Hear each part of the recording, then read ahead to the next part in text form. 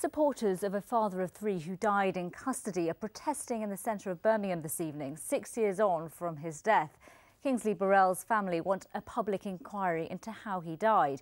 This week, three police officers were cleared by a jury of lying at his inquest. Joanne Writtle reports. No justice!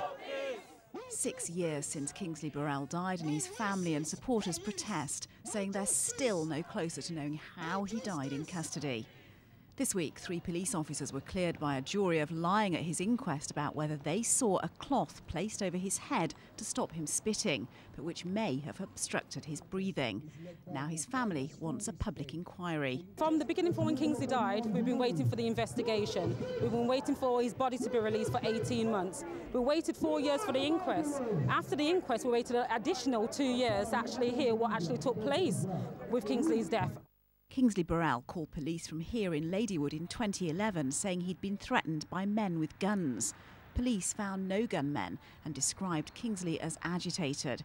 He was sectioned under the Mental Health Act and at this mental health unit, after prolonged restraint, had a cardiac arrest. He died from brain damage. The Burrell family need closure, and today's to highlight the continued injustice of what happened to Kingsley Burrell and our quest for answers and justice for Kingsley.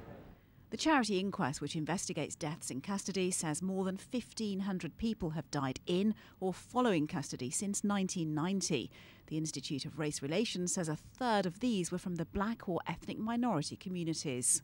A criminologist at Birmingham City University said Kingsley's death had caused a strain in relationships. There are many um, provisions that are in place in order to better race relations, but it only takes one isolated case, like Kingsley's case, for um, race relations to come to turmoil. One police chief has offered to meet Kingsley's family. I think it's really important to say this happened so long ago, much has changed here.